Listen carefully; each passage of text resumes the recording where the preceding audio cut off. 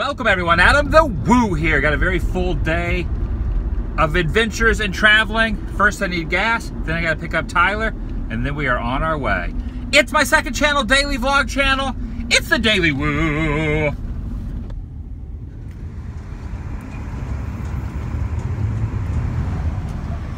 Here comes Tyler out of Bojangles. We are en route to a little place called Hawkins, Indiana, but not in reality. Actually, we're heading to the greater Atlanta area.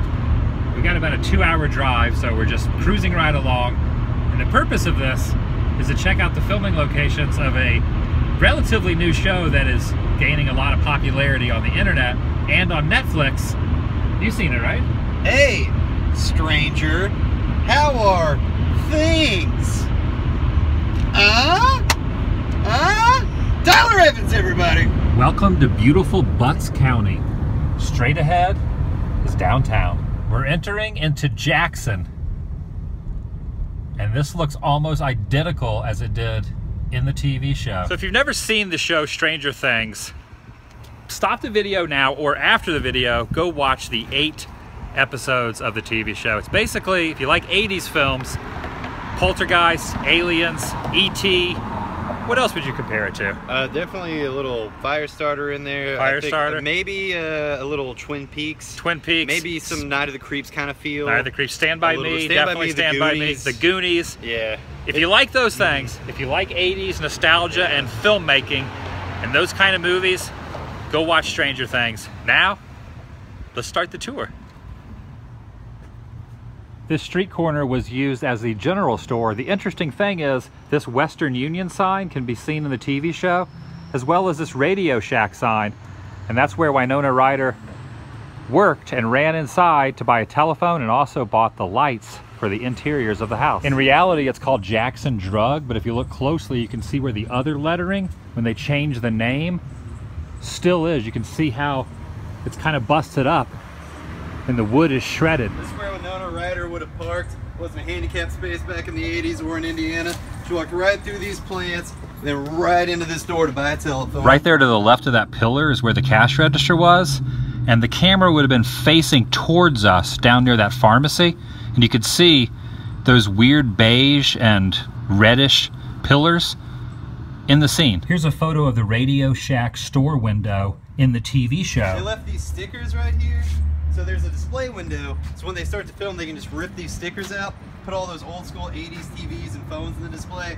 I don't know. Even the even the freaking lights inside look exactly Yeah, I know. If you look at the show, the lights in there on the top of the roof look identical. Jonathan and Nancy were walking down this way when she sees the movie theater who had been spray painted by Steve and his buddies. Mm-hmm. They wrote some derogatory terms on top of the marquee.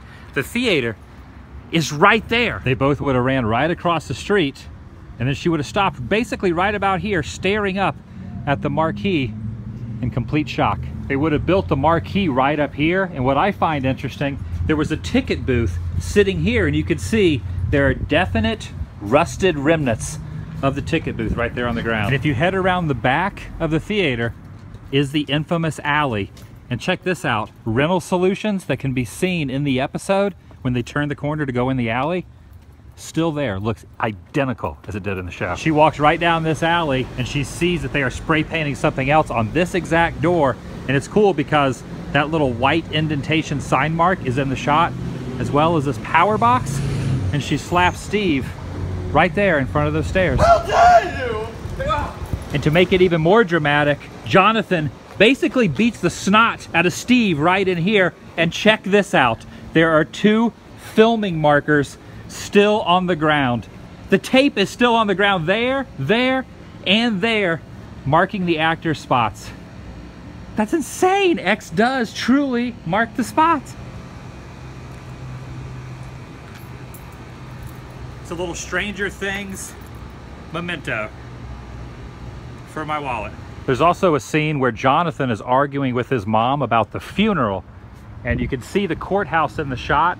And if you watch that episode closely, you will see this vapor shop is in the TV show that's supposed to be set in 1983. They did not have vaping back then, but they just left that up. And you can see it if you watch the TV show, if you look very closely. driving about 30 miles up the road to the next spot. Should be a good one. Directly in front of us is the water tower for the elementary school that was used as Hawkins Middle School. So this was the gym where they had the kiddie pool. They put all the salt in there and then like 11 was like a floating around. It was right inside there. And look at the awning up there. You can still see from filming where it says Hawkins Middle School. That's insane. I'm standing up on this bar by the entrance to the gym. The doors are locked, but if you look in the window, there's that tiger mural that they're both sitting and talking in front of. And they're arranging a plan to kill the monster. And if you look through this window, you can see the wooden gym seats where a lot of the scenes happen. Over there to the left, and there's the gym floor. The interiors were filmed inside this building. A lot of stuff from the show was built on sound stages, but not here. Is where it happened. And on the same property, just a little bit of a ways away, they use for the exteriors of Hawkins High. And you can see it looks almost identical down to this door frame right there and this sticker. There would have been a bike rack right here. And take a look up here at the baseball field lights, which are also seen in this screenshot. That is freaking rad. One of those school buses would have been parked right here and the kids would have been walking in these doors. And the crazy thing is, look inside, the paint scheme, the yellow, green, and I guess that orange look exactly the same. And even the lockers are the same lockers from the show right there. They've painted them back to blue, but originally these were yellow and there was a bike rack right here. The kids dropped their bikes off, started walking this way, and the bullies turned the corner right here on this little concrete slab. Step right up, step right up, ladies and gentlemen. Step right up to the freak show. Students would have been walking into school, and there's that famous shot with the water tower, and the Hawkins Middle School sign would have been stationed right there. So cool. Been driving for about another half hour or so, and we're just about to our next destination.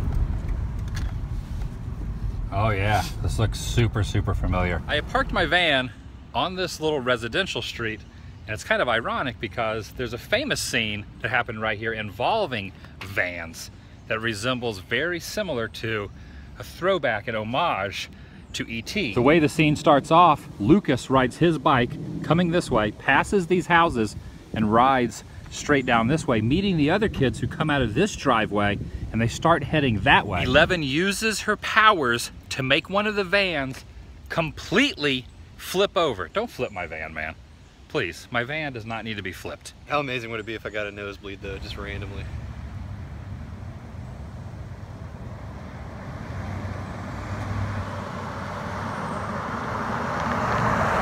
The kids are riding their bikes this way. All of a sudden the vans turn that corner and they're chasing them right down to the bottom of this little hill. Once they get towards the bottom of the hill, another van comes out from that little driveway. Whoop, there's a random dog running through here. And as the van approaches the kids, you never know what's gonna happen. And then all of a sudden, the famous van flip happened.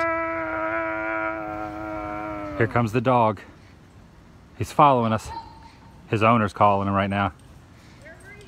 Go home, Max. Max, come here. What are you doing?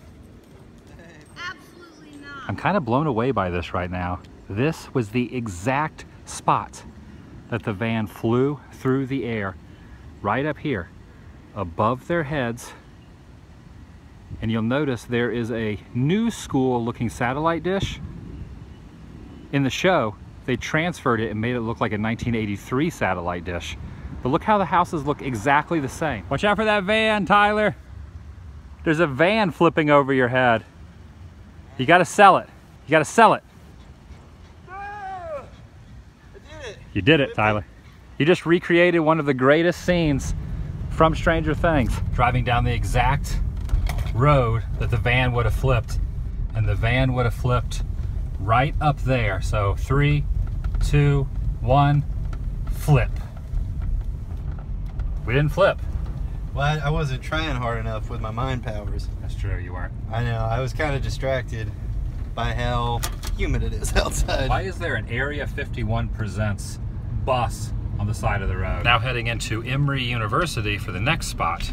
You might recognize this one. Don't look now, but right over there is Hawkins National Lab. The creepy place from the show that's off limits. And this gate is open. We're driving in. Whoa, this is crazy. Look at this. There it is, dude. Stranger Things.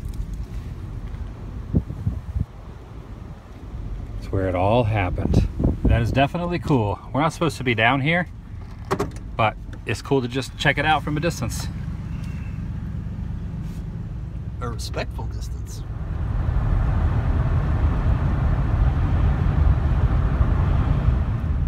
The neighborhood we're in is where Lonnie lives, who is Jonathan Byers' father. And the house can only be seen a couple of times in one episode.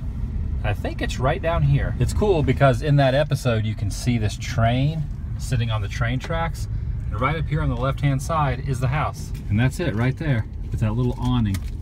That's Lonnie's house, 930. And the residents in this area, not real happy about you driving through and filming their house. So we are making our exit. Over behind that tree line is a huge quarry that was used in the movie. Unfortunately, it is very fenced off. They will not let anyone on the property. That is where the drone that is inside there comes in. I'm basically gonna fly it over the trees, over these power lines, and get an aerial view of the quarry to show basically some of the like epic scenes from Stranger Things were filmed in this quarry where he jumps off and then Eleven brings him back, elevates him back up to the side of the cliff. All that was in this quarry. Thank goodness for the Majestic.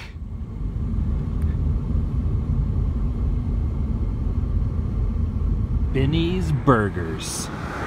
You can see it looks pretty similar to how it did. Of course, the sign up there on the awning has changed from Tiffany's to Benny's Burger in the show. But this is basically where the police arrived to check out the body, the dead body inside. I got some fried okra, mashed potatoes and gravy, chicken fried steak. Tyler got the same thing. And you know where we are right now, right, Tyler? I'm familiar. We're actually eating inside the diner where a lot of scenes happened, including the table that was sitting right here. Remember the scene where Eleven was sitting right there chowing down on the burger? How could I forget? And then also what happened right there is Benny was found dead mm. right there at that spot and you could see the, the little entryway into the kitchen. Now the table that is sitting in the spot is not the table they use for filming. The table they use for filming is tucked away over there in the corner, but you can see the chairs are exactly the same and the table is the same as well. Looks like they just moved the table from one spot to the next. And as she was being chased, Eleven would have busted through these doors, down this hallway, took a left, and then ran outside. And if you look closely in those scenes, you'll notice that these drapes are exactly the same. The exit sign is the same, and this coat rack right here. Around the back is the side door, which was seen a couple times when Benny was emptying out the trash over here, as well as when Eleven runs out, runs back into the woods, which is where originally she stepped out of. As you walk behind the diner into the woods, basically what they did is they set the camera up right here from this angle. And the really interesting fact is you can see these exact branches in the shot as they are giving the perspective of her walking out of the woods. That is amazing. Here's a fun fact. The girl that rang up our order in there has never seen the show.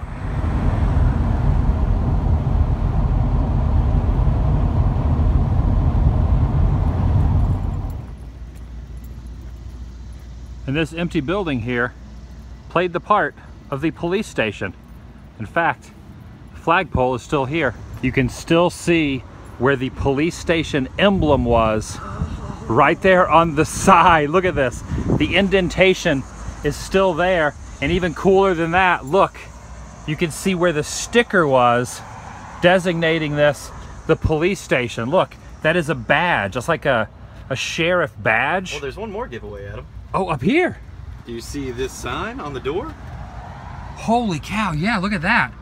says cast only knock. It's really hard to see as well, but there was lettering here on the wall that said City of Hawkins, Indiana. You could faintly see it in the wall. And they still have the nails that held the sign up right here on the side of the wall. Hopper would have pulled right up, parked in front, and walked through those doors. He walks in this door that is locked, but as he walks in, you will see on the wall there, there used to be a water fountain that was basically a prop for the show. They removed the water fountain, and that window you see on the left, that was where the secretary's office was. He walked a couple more feet, took a left, and he went to the main area of the police station. He was on the other side of this wall, walked right by these windows, picture him on the inside, stood right by this pillar inside there, got a cup of coffee, and as he was walking out, he delivered that famous line, mornings are for coffee, contemplation. The sign that said police was right across here. This awning has been added since then. And then over in the corner, there's another one of the emblems. You can see the discoloration in the brick. There was another emblem right here on the far left corner of the building. Pretty good stuff. Hey, wait, Adam. Actually, there's one more thing you missed. One last little piece of hopper that we haven't looked at yet. Shaka-ga-ga-gung-gung. He was here. He was here. And look at that sunset. Very beautiful. Sufficient enough to say, vlog over.